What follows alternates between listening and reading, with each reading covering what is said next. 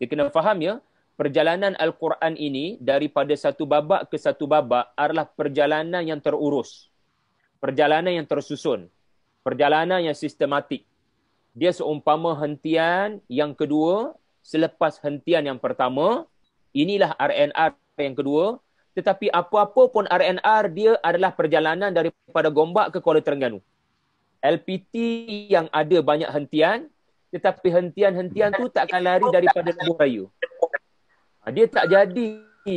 Dia tak akan berlaku dalam Quran ini nak balik ke Kuala Terengganu melalui LPT daripada Gombak uh, tak sesuai lah contoh ni bagi orang Johor daripada Bangi nak balik ke JB jadi kita lalu plus highway.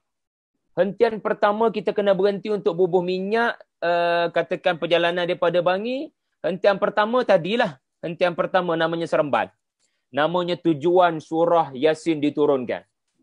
Adapun hentian yang kedua barangkali mana Kak Rozi kita nak berhenti? Bubuh minyak sikit ataupun nak uh, ke ah, toilet? Air keruh. Air keruh. Hmm. Air keruh adalah hentian yang kedua. Tetapi walaupun hentian yang kedua dengan dengan uh, rupa bentuk RNR yang berbeza, tapi still dalam lebuh raya yang sama. Tak boleh berlaku di mana hentian yang kedua selepas hentian Seremban adalah hentian Merapuh merapuh tu dah tuju ke lain. Dia dah bawa kepada destinasi lain. Dia dah bawa cerita lain. Al-Quran Maha Suci. Allah daripada menurunkan kalam yang tak tersusun. Jadi we must go by the flow. Jadi flow cerita ni adalah bahagian pertama tadi Allah Taala memaparkan tentang tugas Nabi kena menyampaikan. Tugas Nabi kena buka mulut. Ya, buka mulut pasal apa? Buka mulut pasal setiap tindak tanduk kalian ada pembalasan. Al-Hakim akan balas dengan penuh bijaksana dan tidak ada yang akan protes pada Al-Hakim sebab dia yang memegang semua hukum. Maka cerita yang ada pada bahagian yang kedua adalah cerita yang nak support Nabi untuk buat kerja-kerja menyampaikan. Sebab itulah uh, kita akan dapati kisah tiga rasul. Pemberi peringatan yang berusaha keras berusaha keras untuk menyelamatkan kaumnya dengan penuh kasih sayang. Ya rupa-rupanya dalam Quran ni ada cerita satu kaum yang didatangi tiga rasul. Tak pernah dalam Quran satu kaum sampai tiga orang rasul. Inilah satu-satunya kaum yang didatangi tiga rasul ini menunjukkan apa ini menunjukkan apa? Rasul yang pertama mereka tolak biasanya Quran akan memaparkan azab. Kalau Rasul yang diutuskan yang duduk berpuluh tahun dengan kaumnya menyantuni, menyampaikan wahyu, akhirnya berkesudahan dengan tentangan dan pendustaan, Allah Ta'ala akan timpakan pembalasan cash.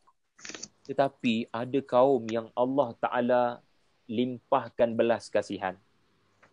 Di mana Rasul pertama yang duduk berpuluh tahun kamu tolak. Okey tak apa? Aku datangkan Rasul yang kedua. Rasul yang kedua support, Rasul yang pertama barangkali juga bertahun-tahun. Kamu tolak. Allah datangkan Rasul yang ketiga. Fa'azzazna bi thalith.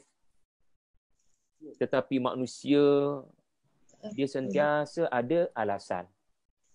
Sedangkan Allah Ta'ala menggunakan pelbagai pendekatan. Sebab bila tiga orang Rasul ni, maknanya seolah-olah lah Kak Rozi ya, dalam bahasa training ni, tiga orang master trainer dengan cara yang berbeza-beza. Satu orang master trainer barangkali kelebihannya adalah pada ya uh, penyampaian. Master Trainer B kelebihannya adalah pada uh, bukan penyampaian tetapi pada uh, konten dia tu mahal, pengalaman dia. Okay, Master Trainer ketiga kelebihannya bukan ada apa pun, cuma dia terkenal. dia cuma terkenal. Jadi setiap orang ada kelebihan. Allah Ta'ala gunakan kelebihan para rasul ini untuk menyampaikan wahyu. Tiga rasul berbeza. Kita tak tahu dia orang daripada mana dan pastinya tiga hmm. rasul ini punya kemahiran yang berbeza, keunikan yang tersendiri tetapi menyampaikan surat cinta yang sama, menyampaikan wahyu yang sama. kat sini kita belajar satu benda, pendakwah kena kreatif. Sebab Allah Ta'ala tidak mengadapkan satu kaum dengan satu rasul. Tiga rasul menunjukkan pelbagai kaedah Allah Ta'ala gunakan untuk menimbulkan kesedaran, kefahaman kaum berkenaan pada hari pembalasan. Kamu tak suka cara orang A, aku datangkan cara orang B. Kamu tak suka Ustaz B, aku datangkan Ustaz C. Dan seandainya kamu tidak juga ia menerima dakwah tiga orang rasul, ini adalah menunjukkan bukan masalah kepada rasul dan risalah. Memang masalah kamu dengan hati yang mati.